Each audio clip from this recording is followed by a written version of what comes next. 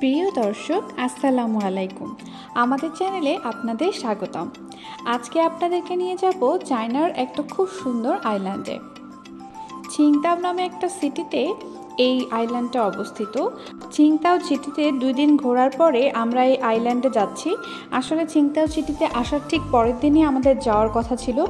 কিন্তু ওয়েদার খারাপ হওয়ার কারণে এই শিপগুলো বন্ধ ছিল। যার কারণে আমাদেরকে পরের দিনে শিপটা ধরতে হয়েছিল। আসলে এখন বুঝতে পারছি যে ওয়েদার খারাপের কারণে কেন শিপগুলো বন্ধ হয়েছিল। সমুদ্র এত উত্তাল ছিল এবং জাহাজগুলো কিন্তু খুব ছোট। আমাদের সাথে যারা জাহাজে ছিল, সবারই মোটামুটি বমি হচ্ছিল। ভিতরে আমরা দোয়া পড়ছিলাম আর যাচ্ছিলাম। তো ফাইনালি আমরা পৌঁছে গেছি।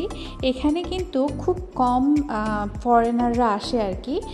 তো যার কারণে খুব বড় বড় ফরেনারদের থাকার মতো হোটেল নেই। তো সবচেয়ে যে বেস্ট হোটেলটা এবং ওরা হচ্ছে ফরেনারকে অ্যালাউ করে, তো আমরা সেরকম একটা হোটেল নিয়ে নিয়েছি। এই যে আমাদের হোটেলের, আমাদের রুমের বাহিরের ভিউ খুব সুন্দর ছিল হোটেলটা। কিন্তু আইল্যান্ডটা এত ছোট যে লোকজন অনেক কম, এত নিরিবিলি। আমাদের তো অসম্ভব ভালো লেগেছে যে কি বলব।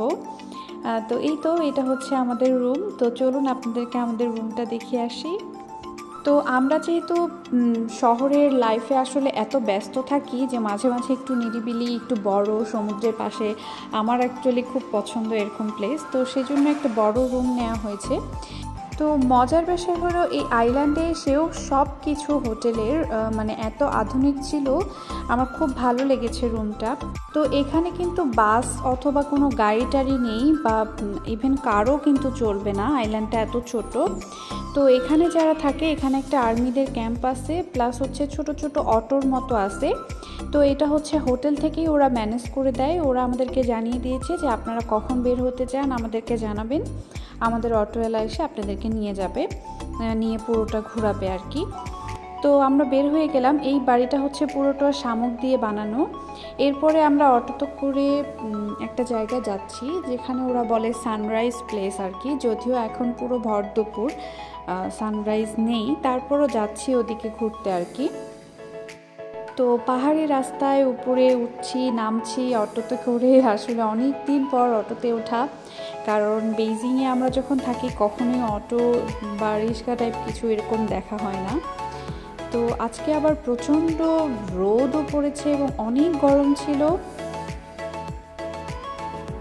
খুব বেশি ডেভেলপড না, কিন্তু খুব নিরিবিলি। মনে হচ্ছিল যে বাহিরে একটা মনে হয় পাতা পড়লেও শব্দ হচ্ছিল, এরকম একটা ব্যাপার। তো এই যে দূরের এই পাহাড়গুলো দেখতে দেখতে আমরা যাচ্ছিলাম, প্রচণ্ড ভালো লাগছিল আসলে। আর যারা ছিংতাওতে আছেন অথবা ছিংতাওতে ঘুরতে আসবেন, তাদের জন্য একটা সাজেশন থাকবে, তারা অবশ্যই এই আইল্যান্ডটা ঘুরবেন। এবং এটার টিকিট কিন্তু আগে থেকে কিনতে পাওয়া যায় না, কারণ খুবই আনসার্টেন যে ওয়েদার খারাপ হলেই ওরা আপনার টিকিট ক্যান্সেল করে ফেলবে। তো আপনারা সকালে সকাল সকাল চলে আসবেন। সকালে আটটা একটা শিপ আছে এবং দুপুরের একটা শিপ আছে। খুব বেশি না, দিনে হয়তো দুটা থেকে তিনটা শিপ হচ্ছে যাওয়া আসা করে।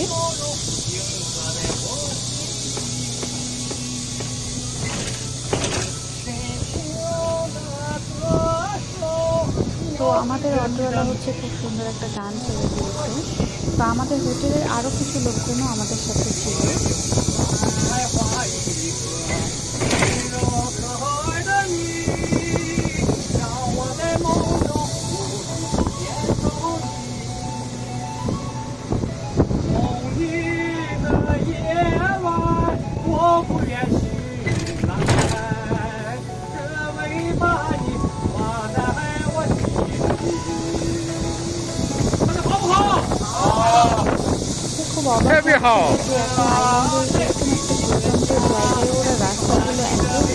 করে বানিয়ে এবং অলরেডি কিন্তু অনেকগুলো কাজ চলছে। এরা হয়তো এটাকে আরও বেশি ডেভেলপ করবে।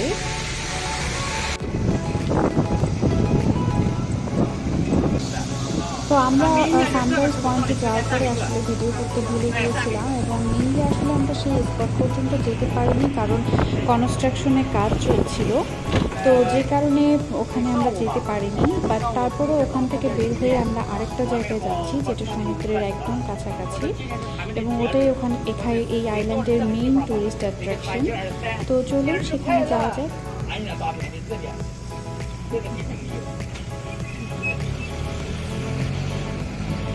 谈了两遍，走这一关这一关，谈两遍。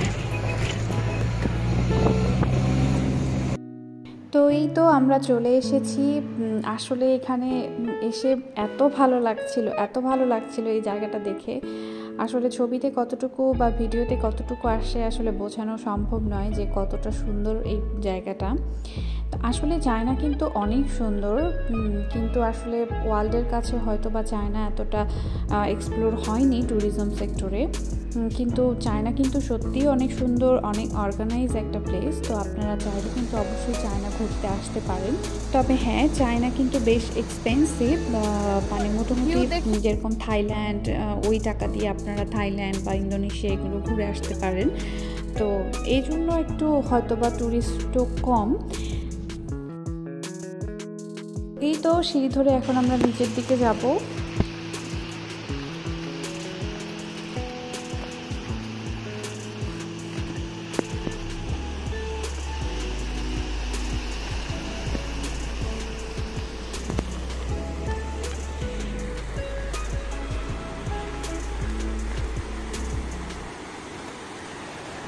সবচেয়ে মজার বিষয় হলো, চায়নাতে কোথাও ঘুরতে গেলে কিন্তু অনেক লোকজন থাকে, কিন্তু এই আইল্যান্ডটা যেহেতু এখনও এতটা এক্সপ্লোর হয়নি, তাই লোকজন কিন্তু একদম কম।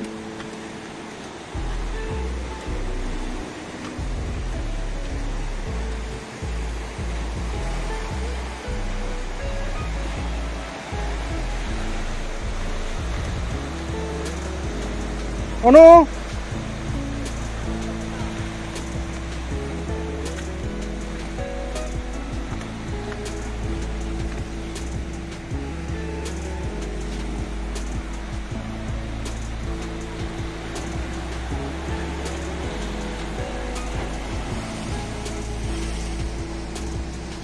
তো এখানে কিছুক্ষণ আমরা থাকব, এরপরে হয়তো আমরা আবার আমাদের হোটেলে ব্যাক করব। কারণ এই আইল্যান্ডে কিন্তু খুব বেশি ঘোরার জায়গা নেই। তো যারা মোটামুটি একটু রিল্যাক্স করতে আসেন, তাদের জন্য এটা বেস্ট প্লেস আমাদের শব্দ শুনে নিশ্চয়ই বুঝতে পারছেন যে আসলে কতটা সুন্দর লাগছে এখানে। আর আসলে প্রচণ্ড গরম ছিল যখন আমরা এখানে আসলাম। তারপরে এই সমুদ্রের ঠান্ডা বাতাস পানি সব মিলায়ে মানে ভাষায় আসলে প্রকাশ করার মতো না যে কতটা সুন্দর লাগছে দেখতে। তো ওখান থেকে আমরা ডিরেক্ট চলে আসলাম আমাদের হোটেলে আর কি। অলমোস্ট সানসেট হয়ে গেছে। তো এখান থেকে আমরা এতক্ষণ আসলে সানসেট উপভোগ করছিলাম। অ্যাকচুয়ালি আমরা চেষ্টা করি একটু বেশি উপভোগ করতে ভিডিও করার থেকে। তারপরেও আমরা চেষ্টা করি যতটুকু পারি সৌন্দর্যটাকে আপনাদের সাথে তুলে ধরার জন্য এবং আপনাদেরকে দেখানোর জন্য।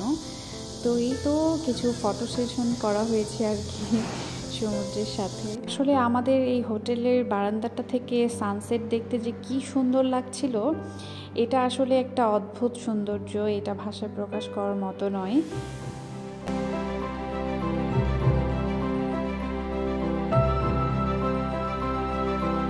আমার তো মনে হচ্ছিল যে সারা জীবনের জন্য এখানেই থেকে যাই। সত্যি আমার এত ভালো লাগছিল।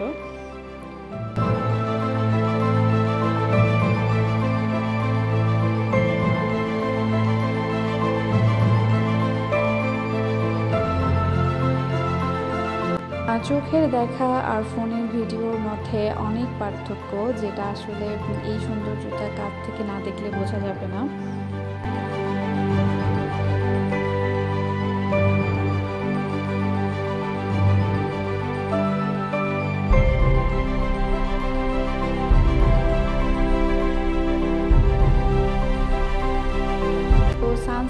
হতে না হতেই আকাশ কিন্তু অনেক কালো করে আসলো। তো সমুদ্রের পাড়ের যেটা মেইন সমস্যা কখনো মেঘ, কখনো বৃষ্টি। তো অনেক জোরে বৃষ্টি চলে আসলো। এদিকে সানসেট হচ্ছে, আবার এখানে বৃষ্টি হচ্ছে। সে এক অদ্ভুত ব্যাপার আর কি।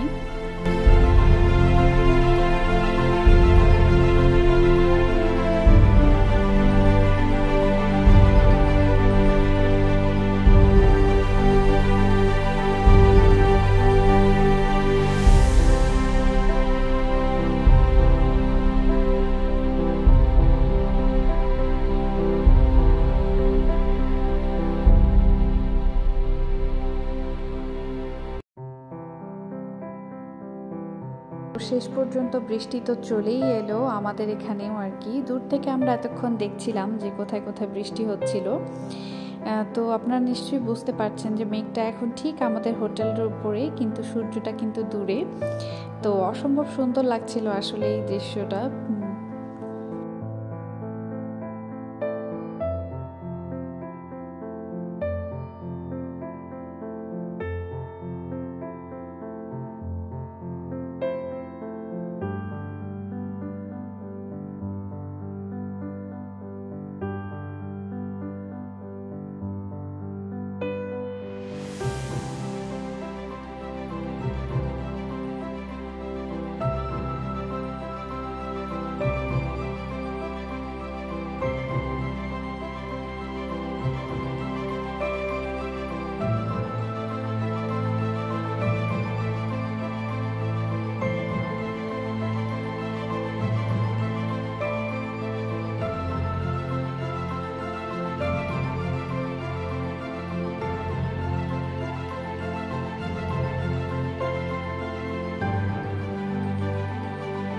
পুরো দমে বৃষ্টি চলে এসেছে এবং বৃষ্টি থামছিলই না, আর আমরা ছাতাও নিয়ে আসিনি যে আমরা রাতে ডিনার করতে যাব।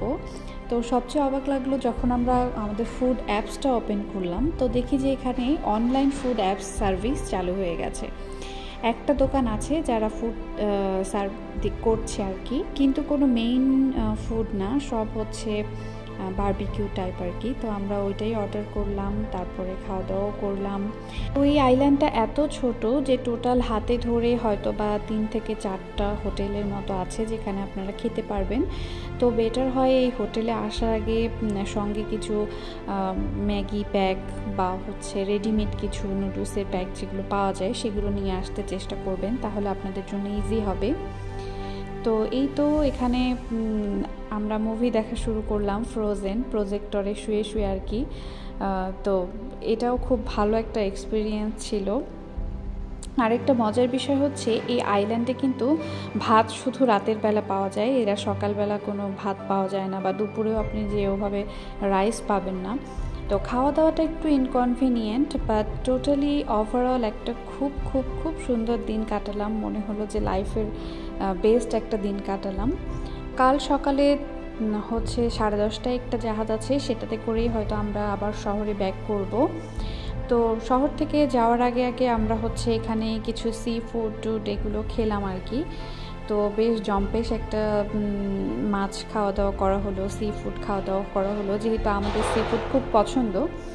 তো এই তো খাওয়া দাওয়া শেষ করে আমরা আবার জাহাজে করে ব্যাক করছি। মনে হচ্ছিল যে আরও যদি কিছুদিন থাকতে পারতাম তাহলে হয়তো একটু ভালো লাগতো। যদিও এই আইল্যান্ডে খুব বেশি কোনো অ্যাক্টিভিটি নেই, হয়তো ওরা ইন ফিউচার চালু করতে পারে।